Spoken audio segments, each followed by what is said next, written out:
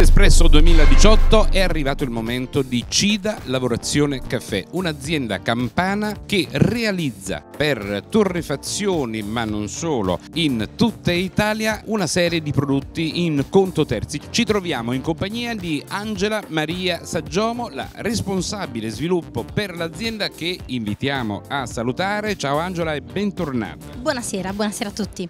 Perché qui a Trieste Espresso 2018? Siamo qui per eh, innanzitutto conoscere nuovi mercati che attualmente non, non conosciamo eh, e per eh, portare le novità che abbiamo attualmente sviluppato.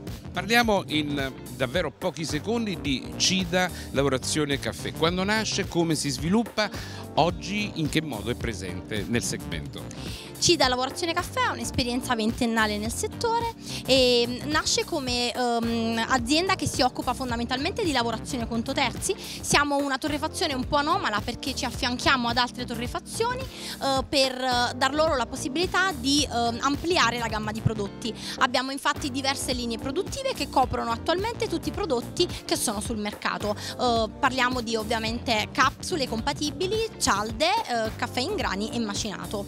abbiamo un ufficio grafico interno che è specializzato nel settore del caffè e quindi può eh, diciamo, costruire un nuovo brand o occuparsi del restyling di un brand storico eh, e, oppure ovviamente la creazione di un, di un, nuovo brand come ho detto poc'anzi. Contestualmente abbiamo anche nost quattro nostri marchi, eh, un ultimo è stato acquisito eh, nell'anno precedente ed è un marchio storico di caffè, Aloia SRL. Eh, il nostro diciamo, bambino e invece Moca Moca Caffè che è il nostro marchio con cui ovviamente um, tentiamo appunto di uh, ampliarci in Europa ed oltre. Angela, voi eh, realizzate per conto terzi capsule di vari sistemi per torrefazioni, società di gestione e comunque aziende che desiderano produrlo eh, col proprio marchio ma esclusivamente caffè o anche prodotti solubili?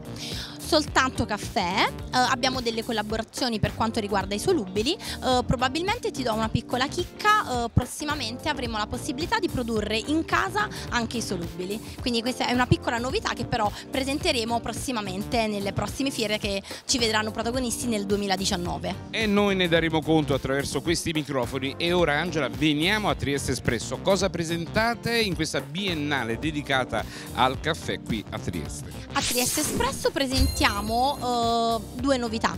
Uh, una prima novità è un configuratore con cui i clienti e i visitatori della fiera possono creare uh, di persona il loro logo oppure importando il loro logo nel configuratore possono creare e vedere come il loro logo appare sui diversi prodotti che noi abbiamo quindi box, etichette, cialde, capsule e incarti in genere. Uh, un'altra piccola novità è la creazione del logo olfattivo. Noi curiamo i prodotti per il nostro cliente dalla A alla Z, uh, sin anche a, a diciamo, uh, creargli appunto un logo che non sia grafico ma che sia olfattivo. Il marketing olfattivo ormai sta prendendo veramente a, a molto successo diciamo ultimamente e con il logo olfattivo noi fidelizziamo il cliente a sentirsi coccolato ma non solo a ricordare dare un brand preciso e ovviamente la, le diverse soluzioni di emissione del logo olfattivo possono essere appunto svariate.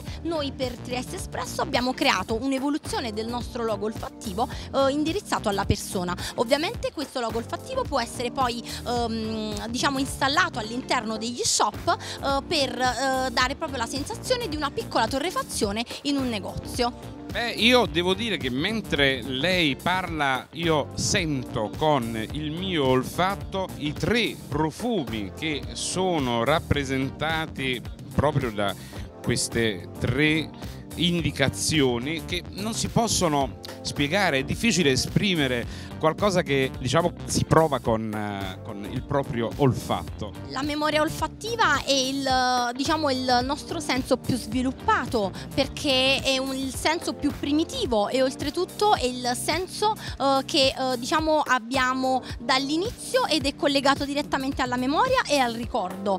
chiunque passando davanti a una penetteria, a una pizzetteria, ha ha voglia di acquistare il prodotto, quindi pensiamo a passare davanti ad un negozio di caffè eh, e a sentire un odore di caffè persistente come quando da bambini si sentiva in casa l'odore della moca appena, eh, con il caffè mm, appunto appena erogato. È l'odore della moca. Eh, eh. E noi tentiamo di, uh, di riprodurlo proprio con, questo, con queste nuove profumazioni che stiamo lanciando. Angela, grazie, sei stata esaustiva, eh, sei rimasta nei tempi televisivi che ti avevo indicato, saluta tutti loro che sono dall'altra parte. Grazie mille a tutti, vi ricordo di contattarci per qualsiasi tipologia di informazione alla nostra mail assistenza chiocciola cidalavorazionecaffè.it. Una volta uh, scritto a voi che cosa accade? Uh, vi risponderemo con una mail mm, molto uh, chiarificatrice con tutte le nostre indicandovi appunto le referenze che possiamo produrre per vostro conto, i quantitativi, i riferimenti anche pre- di prezzo e tutto quello appunto che possiamo fare per voi. Senza alcun impegno assolutamente. Grazie Angela. Amici, noi continuiamo qui a Trieste Espresso 2018 per presentarvi con telecamera e microfono tutto o quasi quello che viene presentato. Noi ci ritroveremo a una prossima fiera. Ciao Angela. Ciao.